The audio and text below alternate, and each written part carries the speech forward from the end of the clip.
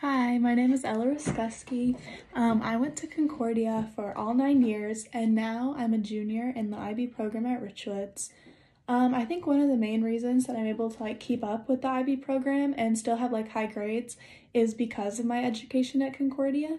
I think like a main example of this is um, what I learned in Miss Rivers' English class.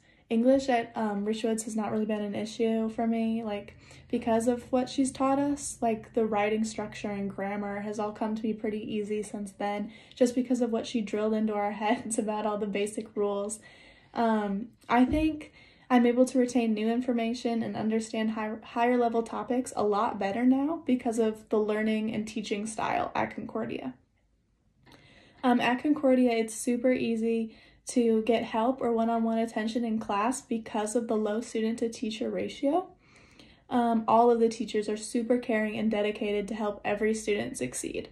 Um, I always felt comfortable with my uh, classmates and teachers um, because you truly get to know everyone, and the um, environment is super positive.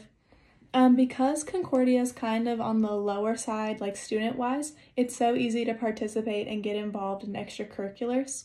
Um, my younger sister's in fifth grade, and she's been in every single sport that's available to her. She's been able to participate and play in every one, and she has so much fun doing it. I was able to do soccer, track, and then also art club, scholastic bowl, cheerleading, choir, and the National Junior Honor Society. Um, the Christ centered curriculum and atmosphere at Concordia always taught a super positive and loving relationship with God.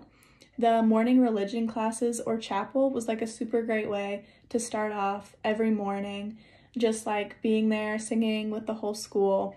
It was great. Um, it was super like stress relieving and positive, and I hope you consider sending your student to Concordia. And if you need more information, please call and schedule a tour.